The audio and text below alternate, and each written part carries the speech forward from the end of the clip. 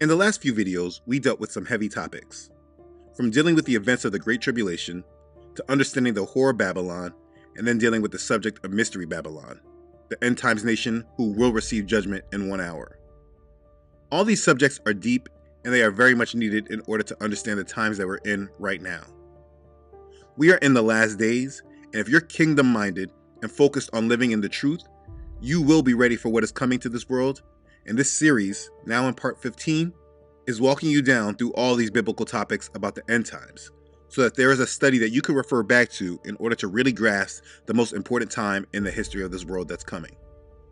So, yeah, we dealt with some heavy topics.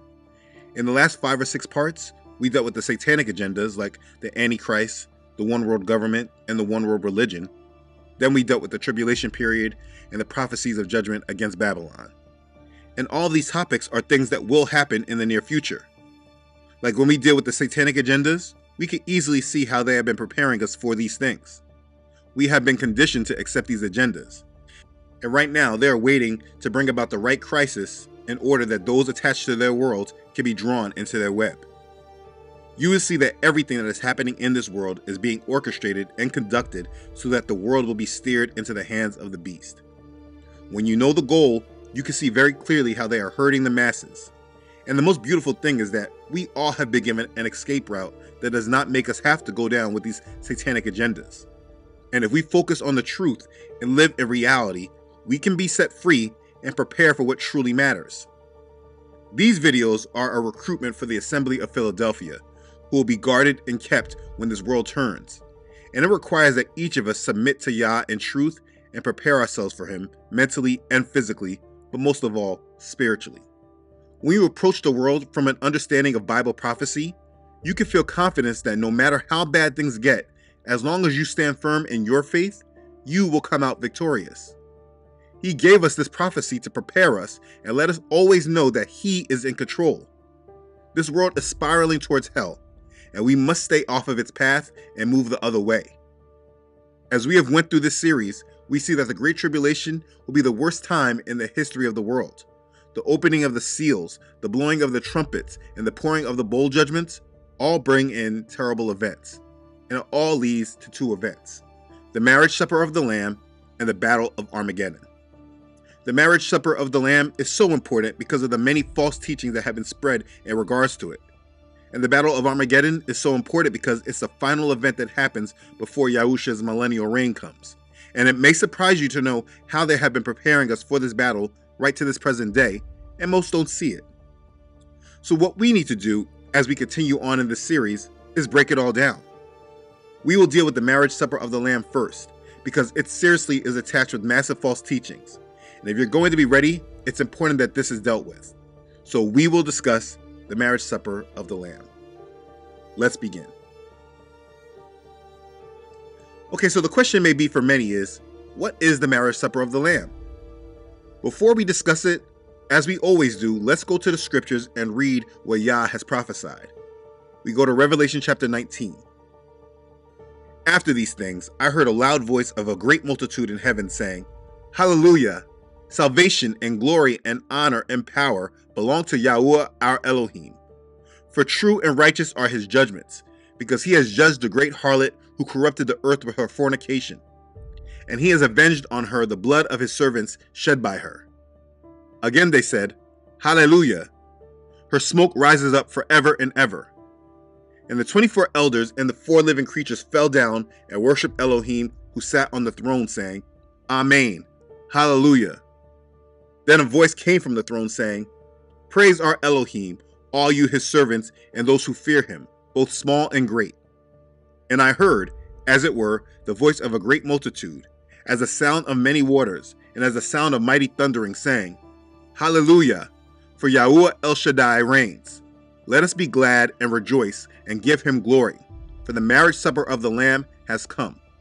His wife has made herself ready, and to her it was granted to be arrayed in fine linen, clean and bright, for the fine linen is the righteous acts of the saints. Then he said to me, Write, blessed are those who are called to the marriage supper of the Lamb. And he said to me, These are the true sayings of Elohim and I fell at his feet to worship him. But he said to me, See that you do not do that, I am your fellow servant and of your brethren who have the testimony of Yahusha. Worship Elohim, for the testimony of Yahusha is the spirit of prophecy. That's Revelation chapter 19, verses 1 through 10. And from these 10 verses, there has been major doctrines that have been created from this. These 10 verses right here give us what we know of the marriage supper of the Lamb. The first five verses of this chapter begin with showing the response in heaven of the judgment of the harlot that was spoken of in chapter 17 and 18. This was spoken of in part 13 and 14 of the series. The multitude in heaven praises Yah for judging the great whore, the harlot of Babylon, and avenging the blood of the martyrs, which, if you remember in chapter 7, we saw the martyrs pleading to Yah to be avenged. But they're praising Yah for his judgment against Mystery Babylon. This right here takes place at the end of the Great Tribulation. The rebellion that had begun in the Garden of Eden is finally ended. Never again will there be more false religions, worldly philosophy, injustice, or unrighteousness. Hallelujah. And we see continuous praise in heaven because of this. We never want to be on the wrong side of this judgment. Now, I love this chapter because of the next part that we find in verses 6 through 10. This is the marriage supper of the Lamb. Now, before I get deep into it, let's discuss what this is speaking about. You see, all throughout scripture, you will hear Yahusha being referenced as the bridegroom. A bridegroom is a man on his wedding day, or just before and after the event. He is the husband to be. Some examples of this you can find in Matthew chapter 9, verse 15, when Yahusha refers to himself as the bridegroom. And Yahusha said to them, Can the friends of the bridegroom mourn as long as the bridegroom is with them? But the days will come when the bridegroom will be taken away from them, and then they will fast. That's Matthew chapter 9, verse 15. And in John chapter 3, verse 29, when John was disputing with the Yahudim, he explained that he who has the bride is the bridegroom, but the friend of the bridegroom who stands and hears him rejoices greatly because of the bridegroom's voice. Therefore, this joy of mine is fulfilled. You see, he was talking about Yahusha. Yahusha has the bride. He is the bridegroom. The wife or bride of Messiah is the assembly, the church of believers of Israel. This is his body of believers all around the world. It's not a physical building or some organization, not some denomination or anything like that. It's the collective group of believers around the world that believe in the gospel and live through the word and keep the commandments. Again, as John chapter 3 verse 29 alludes, the bridegroom has the bride. Yahusha himself shows us this relationship in parables like the parable of the ten virgins. That's in Matthew 25. We'll go over that later. And this shows the virgins being ready for the bridegroom. As Paul talks to the church in Corinth in 2 Corinthians chapter 11 verse 2, "For I am jealous for you with godly jealousy, for I have betrothed you to one husband, that I may present you as a chaste virgin to Messiah." And also as explained in Ephesians chapter 5 Verse 25 When husbands are charged to love their wives, just as also Messiah loved the church and gave himself for her. The church is the bride of Messiah. So, in this chapter of Revelation, we see the marriage of the Lamb and the wedding supper. Verse 7 says, Let us be glad and rejoice and give him glory, for the marriage of the Lamb has come, and his wife has made herself ready. His assembly has been made ready for him. You see, the marriage of the Lamb is the eternal union of the church with Messiah. The fine linen, clean and white, noted in verse 8, represents the righteousness of the church, which has now been judged and purified at the judgment seat of Messiah. You see, in ancient times, a marriage was the single greatest celebration and social event in the biblical world. Preparations and celebrations were much more elaborate than those of today, and they also lasted much longer. That's why this is called a marriage supper. This provides us with an understanding of just how significant this event is. The same imagery of a Hebrew wedding pictures Yahusha's relationship with his church. A Hebrew wedding consisted of three phases the betrothal, the presentation, and the ceremony. The first part, like I said, is the betrothal, which is like the engagement. This was an arrangement by both sets of parents It was legally binding and could only be broken by divorce. It's a mutual promise or contract for a future marriage. The assembly was betrothed to Messiah from before the foundation of the world, as Ephesians chapter 1, verse 4 says.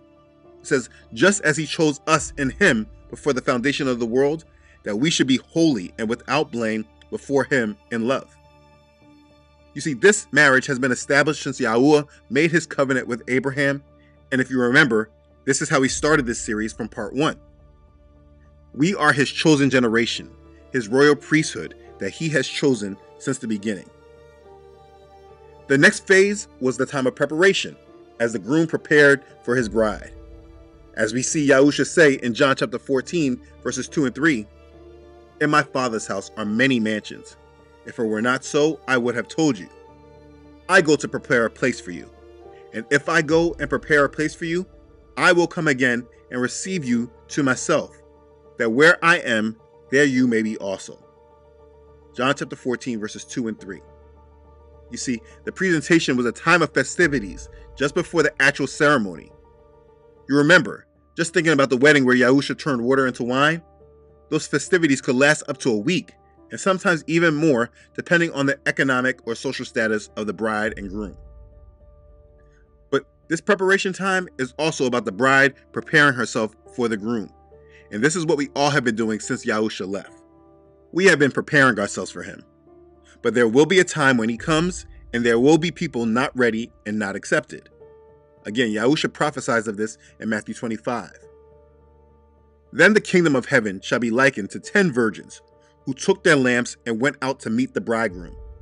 Now five of them were wise, and five were foolish. Those who were foolish took their lamps and took no oil with them. But the wise took oil in their vessels with their lamps. But while the bridegroom was delayed, they all slumbered and slept. And at midnight a cry was heard Behold, the bridegroom is coming. Go out to meet him. Then all those virgins arose and trimmed their lamps. And the foolish said to the wise, Give us some of your oil, for our lamps are going out. But the wise answered, saying, No, lest there should not be enough for us and you.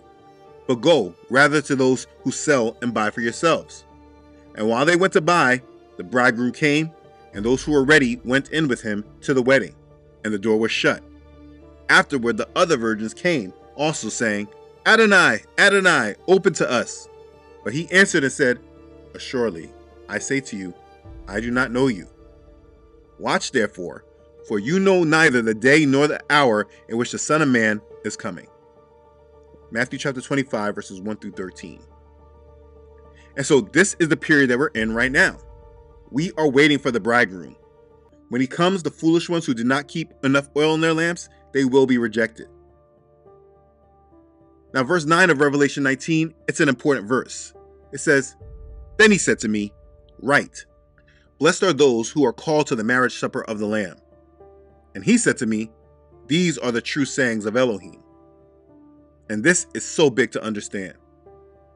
Now, here's the thing there have been a lot of doctrine that has been created about this event of the marriage supper, and many false understandings have been attached to this event. Primarily, what I'm speaking about is the pre tribulation rapture doctrine. And because of this, there is a great deal of confusion and falsehoods that have been presented. The false doctrines surrounding the pre tribulation rapture have been tied into this marriage supper of the Lamb. So I know what I'm dealing with. I understand that as I speak about this, there are many that are not going to be happy because they want to believe in the pre tribulation rapture. But in order for you to hear me out, let me just prove first that the marriage supper of the Lamb has nothing to do with the pre tribulation rapture. Let me get that out the way. And let's make a deal that if you can see this evidence clearly, maybe you will then listen a little bit more to understand what I explain before you decide to turn me off completely. You see, there are so many people that still believe in this pre tribulation rapture doctrine simply because the moment they hear anyone speak against that doctrine, they simply just turn them off. But the thing is that if this is what you believe and you believe it's truth, it should be able to stand against challenges, should it not? Why is this belief so fragile that it cannot stand against people who challenge it? Either way, let me prove that it has nothing to do with the marriage supper of the Lamb. Question According to Scripture, when does the marriage supper of the Lamb occur? Now, if we want to apply the pre tribulation rapture doctrine to this, this would mean that it would have had to happen at the time before the tribulation starts, right? Hence why it's called pre tribulation. But look, according to scripture, when does the marriage supper of the Lamb actually start? Look at what they're celebrating. A great multitude in heaven saying, Hallelujah! Salvation and glory and honor and power belong to Yahweh our Elohim. For true and righteous are his judgments, because he has judged the great harlot who corrupted the earth with her fornication, and he has avenged on her the blood of his servants shed by her. Again they said, Hallelujah! Her smoke rises up forever and ever. That's verses 1 through 3 of Revelation 19, and showing them rejoicing for Yah's judgment against Mystery Babylon. Her smoke rises up, and they are rejoicing because of her judgment. So, this marriage supper of the Lamb does not happen before the tribulation, but during the tribulation when Babylon is finally judged. So, if you just recognize that point right there, which is plain to see, it should be something that brings attention to the fact that there is something missing or wrong from that pre tribulation rapture doctrine. So, please continue to listen as I explain it. Cool. Understand that the marriage supper of the Lamb, it's a wonderful event, and those who are called to it are blessed, but it should not be tied to the rapture. The rapture event that everyone is looking for, when those are caught up to the clouds, all this happens when Yahusha comes back, not before. This event of the marriage supper of the Lamb happens in heaven. If you're tied to the pre tribulation rapture, I have done a complete video breaking down the falsehood of this doctrine, and I have playlists dealing with this. You should watch these videos. But let me deal with this as simply as possible because I have seen that there are many that are new to this channel and that have started this end time series but have not gotten to the point of understanding about the pre tribulation rapture. So let me explain this as simple as possible. You see, I ask everyone the same question when they talk about the pre tribulation rapture, and most never really want to answer it because it totally breaks down this pre tribulation rapture belief. The question is who gets taken first, the wheat or the tares? You see, Yahusha has explained this in his parable about the wheat and tares, and if you just apply what he has said, then it does not allow for belief in the pre tribulation rapture. We will go over the parable of the wheat and the tares. Another parable he put forth to them, saying, The kingdom of heaven is like a man who sowed good seed in his field. But while men slept, his enemy came and sowed tares among the wheat and went his way. But when the grain had sprouted and produced a crop, then the tares also appeared. So the servants of the owner came and said to him, Sir, did you not sow good seed in your field? How then does it have tares? He said to them, An enemy has done this. The servant said to him, Do you want us to then go and gather them up? But he said, No, lest while you gather up the tares, you also uproot the wheat with them. Let both grow together until the harvest. And at the time of harvest, I will say to the reapers, First, gather together the tares and bind them in bundles to burn them, but gather the wheat into my barn. That's Matthew chapter 13, verses 24 through 30. He then continues later. Then Yahusha sent the multitude away and went into the house. And his disciples came to him, saying, Explain to us the parable of the tares of the field.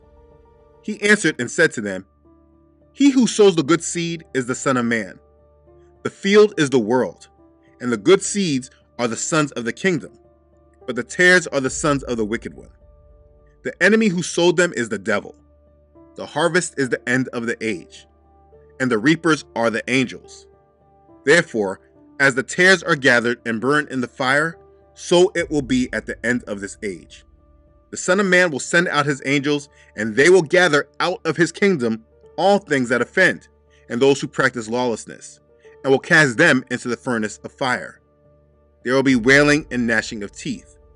Then the righteous will shine forth as the sun in the kingdom of their Father. He who has ears to hear, let them hear. That's Matthew chapter 13, verses 36 to 43. So back to the question who was gathered first at the end of the age at the harvest? He said he let the wheat and tares grow together, but at the time of the harvest, which is the end of the age, he will say to the reapers, First, gather together the tares and bind them in bundles to burn them. The answer is clear the sons of the wicked are gathered first. You see, he is not plucking out the righteous, he is plucking out the wicked.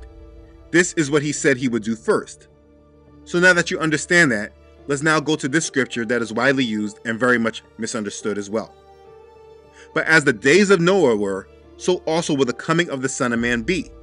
For as in the days before the flood, they were eating and drinking, marrying and giving in marriage, until the day that Noah entered the ark, and did not know until the flood came and took them all away. So also will the coming of the Son of Man be. The two men will be in the field, one will be taken and the other left. Two women will be grinding at the mill, one will be taken and the other left. Watch therefore, for you do not know what hour your Adon is coming.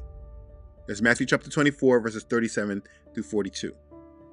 Of what was just read, verse 40 and 41 say, Then two men will be in the field, one will be taken and the other left. Two women will be grinding at the mill, one will be taken and the other left. And these verses are used for people to justify the rapture. But after we just went over the explanation about the wheat and the tares, it should be very clear how false that is. He spoke about this as the days of Noah and people will be taken. You see, the doctrines of men have made the majority think that those who are taken and plucked out are the blessed ones, when in fact, those who are being taken are the ones being gathered for judgment. They are tares. You don't want to be plucked off this earth. You want to inherit this earth and be left to reap in all the blessings Yahuwah has for us. So the plot twist everyone following the wicked deceptions of Satan and the doctrines of men are asking to be counted among the wicked because they're not studying to show themselves approved. They're asking to be tares. The tares are taken and plucked out first. So you believing in doctrine that's saying that you're going to be plucked out first is a direct contradiction to Yahusha's words and his parables. You cannot believe in the pre-tribulation rapture, believing the church will be plucked out first, when Yahusha has himself said that it's the tares that are taken first. And this is me explaining it as simple as possible. I again have gone much more in depth on this subject in many videos. If you want to study it further, go to the playlist. But in the end, you can believe what you want. What I'm saying is that it's a huge danger to believe in doctrine that the Messiah you say you believe in has given clear scripture about. He has said that the tares are taken first, so you should believe him. But with all that said, this brings us back to the marriage supper of the Lamb. So now that this understood that this is not about the pre-tribulation rapture, I guess the question is, if this is not about the pre-tribulation rapture, then who is here at the marriage supper? Well, here's the deal. And before I get into it all, I think it's very important to really understand this. What people have done with the Bible and the scriptures is very reckless. They have taken the things that our Father has not clearly explained and provided clarity on. They have taken those things, and there are people that love to make up their own views to prove how smart they are, and they create their own doctrines. And being that we have been born into much of these influences, and it just sounds like they've been around so long, it is possible that we ourselves get sucked up into those falsehoods as well. So, as we recommit to our Father and prepare ourselves, it's important to not treat the word so recklessly and we deal with what our Father has actually told us, and we do not create additions to the prophecy or subtractions. He has warned us about that at the end of this book. He says, For I testify to everyone who hears the word of prophecy of this book. If anyone adds to these things, Elohim will add to him the plagues that are written in this book. And if anyone takes away from the words of the book of prophecy, Elohim shall take away his part from the book of life, from the holy city, and from the things which are written in this book. That's Revelation chapter 22, verses 18 and 19. So, with that warning given, go back to what was said about the marriage supper and notice there is no discussion about the pre tribulation rapture in any of these scriptures. None of that doctrine is discussed and therefore people are adding to the words of prophecy and they're playing a very dangerous game that you should not take a part in. Let's deal with the marriage supper right now. Verse 8 says, And to her it was granted to be arrayed in fine linen, clean and bright, for the fine linen is the righteous acts of the saints. So, based on this information, we can go back to what was written earlier in the same book and see who else was dressed like this. Let's go back to Revelation chapter 6, when the fifth seal is opened in verse 9. When he opened the fifth seal, I saw under the altar the souls of those who had been slain for the word of Elohim and for the testimony which they held. And they cried with a loud voice, saying, How long, O Adonai, holy and true, until you judge and avenge our blood on those who dwell on the earth? Then a white robe was given to each of them, and it was said to them that they should rest a little while longer until both the number of their fellow servants and their brethren who would be killed as they were was completed. Revelation chapter 6, verses 9 through 11. You see, these were the souls of the martyrs that were slain, crying for judgment. Now, they were not wearing linen, but they are wearing robes, but they are white. What is said next after that is really what I want to focus on. It's the most important thing. In verse 11, it says, Then a white robe was given to each of them, and it was said to them that they should rest a little while longer until both the number of their fellow servants and their brethren who will be killed as they were was completed. You see, these martyrs, they were crying out for vengeance, but they were told to wait a little while longer until what? Until both the number of their fellow servants and their brethren who will be killed as they were was completed. Okay, so you get that? And so what is happening at the marriage supper of the Lamb? It says, After these things I heard a loud voice of great multitude in heaven saying, Hallelujah! Salvation and glory and honor and power belong to Yahuwah our Elohim. For true and righteous are his judgments, because he has judged the great harlot who corrupted the earth with her fornication, and he has avenged on her the blood of his servants shed by her. You see, they are praising Yahuwah for the vengeance he has finally taken out. At Revelation chapter 6, they were crying for judgment. At Revelation 19, they were praising Yah for him carrying it out. And after the final number of their fellow servants and their brethren who will be killed as they were were completed, the bride was ready to be joined to Messiah. You see, this is not an event about the rapture, but it is a description of the promise and the blessed hope. But let us who are of the day be sober, putting on the breastplate of faith and love, and as a helmet the hope of salvation. For Elohim did not appoint us to wrath, but to obtain salvation through our Adon, Yahusha the Messiah, who died for us, that whether we wake or sleep, we should live together with him. Therefore, comfort each other and edify one another, just as you also are doing. That's 1 Thessalonians chapter 5, verses 8 through 11. Also, it is said in the next chapter of Revelation, Revelation chapter 20, And I saw thrones, and they sat on them, and judgment was committed to them.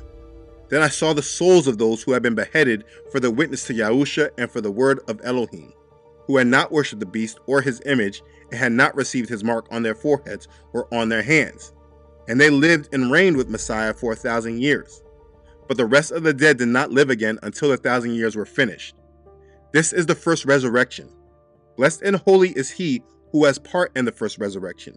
Over such, the second death has no power, but they shall be priests of Elohim and a Messiah, and shall reign with him a thousand years. It's Revelation chapter 20, verses 4 through 6. You see, whether we wake or we sleep, we will live together with Messiah. This is the blessed hope. This is the promise. And therefore, those who die during the tribulation will be blessed and come back and reign with Messiah. This is all that we know. So here's the deal on earth, during this period of Armageddon, Israel, they have been gathered and they're waiting for the kingdom to come. We went over that earlier in this series. This is what most of us are waiting for. We are waiting for the gathering. But there will be saints that are not gathered with us, and many of them will deal with persecution as the beast comes to persecute them, as Revelation chapter 12 prophesies. And the dragon was enraged with the woman, and he went to make war with the rest of her offspring, who keeps the commandments of Elohim and have the testimony of Yahusha the Messiah. As Revelation chapter 12, verse 17. Then also it was granted to him to make war with the saints and to overcome them. And authority was given him over every tribe, tongue, and nation. Revelation chapter 13, verse 7. You see, the beast is coming after the saints and they will be persecuted. How I see this personally is that there are a great deal of believers in this world that love Yah and are trying to keep the commandments. But there are certain truths that many have not been willing to accept. When Yah gathers Israel and pleads his case with us, Many that denied certain truths will not be ready and they will not be a part of the gathering, and they will have to deal with persecution. Just because they rejected certain truths does not mean that they were rejected completely, but they will be tested. This is how I see it, but I cannot say that this is 100% what happens. I mean, I don't know. We know that there will be many in the assembly that needs testing because they were not counted as a part of the assembly of Philadelphia, and the beast will persecute them. What I know is my desire to be a part of the Assembly of Philadelphia. And in order for that to be, I know I must live in the truth, I must keep his commandments, and I must persevere. And that's what I'm focused on. But the thing is that I know, regardless of whether I make it through the tribulation or I pass, I will come to reign with Messiah, and that truth gives me confidence and conviction. So, again, back to the marriage supper of the Lamb. Let's read it one more time. And I heard, as it were, the voice of a great multitude, as the sound of many waters, and as the sound of mighty thunderings, saying, Hallelujah, for Yahuwah El Shaddai reigns. Let us be glad and reign and give him glory. For the marriage of the Lamb has come, and his wife has made herself ready. And to her it was granted to be arrayed in fine linen, clean and bright, for the fine linen is the righteous acts of the saints. Then he said to me, Write, blessed are those who are called to the marriage supper of the Lamb. And he said to me, These are the true sayings of Elohim. Revelation chapter 19, verses 6 through 9. And this is how we should be looking at it what is actually saying. Nothing more, nothing less. This is the final number of saints that have been prepared for the kingdom, and the bridegroom Yahusha has now joined with her. The bride is now ready. Those that are in heaven, that are a part of the wedding ceremony, we will see in the next verses, they will come down as an army with Messiah, defeat the beast, and establish the reign of Messiah's kingdom. The marriage supper of the Lamb is joining of Messiah with his assembly, and it's a beautiful event. It completely ties in how we started this series in part one with the Abrahamic covenant. It brings it full circle as a fulfillment of the covenant that Yah made with Abraham. This event should not be put together with the pre tribulation rapture. We don't need to do all that with the word. Read it for yourself and do not add or take anything away from it. This event is noted in Revelation because of what it signifies, which is the bridegroom joining with the bride, which is the promise. And when this is finally done, this is when Yahusha is ready to come down and reign. This is not about bringing the church all into heaven and then bringing us right back down. That is a falsehood and it should not be applied. This is about Yahusha joining himself to his bride who has now been made ready. And this is who we are and what we're doing. This is a part of the assurance and promise for those that, whether we wake or we sleep, we will reign with Messiah. This is a part of knowing that all of the troubles in this world, with persecution and tribulation, are now over, and the bride is now ready to come into the kingdom. This is a wonderful thing, and when you read it, you will see that it made John praise, and he even bowed to the angel because of the awe that he was in. This marriage supper of the Lamb is the eternal union of the church with Messiah, our true King. This marriage supper is the final event that will take place right before the establishment of our Messiah's millennial kingdom. Do not add doctrines of men that are not clearly told to you. Apply what is said and do not add to it in order to make your own theology fit. That is a dangerous activity. In regards to the end times, this event is major because it signifies the end of wickedness and the reign of the righteous. And if you do not make it through the tribulation, but you are counted as one of the final number of saints that must be persecuted through the tribulation, know that when you are a part of this marriage supper of the Lamb, you will be blessed. At the end of the day, what it is that we all must do is endure to the end. We must stay kingdom minded and we must persevere. It is not a time for games and it's not a time to play with our souls. We must stay focused on living in the truth and submit to Yah and His will. I know most in Christianity tie the marriage supper of the Lamb with that pre tribulation rapture doctrine. Please purge yourself from these falsehoods and doctrines of men and just make sure you are ready and you're committed to Yah. Keep the commandments and make Yahweh the priority of your life. Be kingdom minded and focus on being a part of the promises. Live in the truth, and when these prophetic events happen, you will be blessed. Always know the most important thing that you can do right now is be ready. So make sure that you are. And be blessed. Hallelujah. Praise Yah. Okay, thanks again for watching. If this has blessed you, please don't forget to like this and share this video with others. If you have not done so already, please don't forget to subscribe to this channel. Yah willing, I upload every Friday. Also, please don't forget to follow this ministry on Facebook and Instagram, as well as on my website, truthunedited.com. As always, let me thank all those who support this ministry. You know who you are. Your contributions are an extreme blessing to this ministry, and I'm very thankful for you. Your support is truly humbling. You really have no idea how you have helped this ministry. Thank you for being a blessing. Be blessed. Okay. Thanks again, everyone, for watching. I love you all.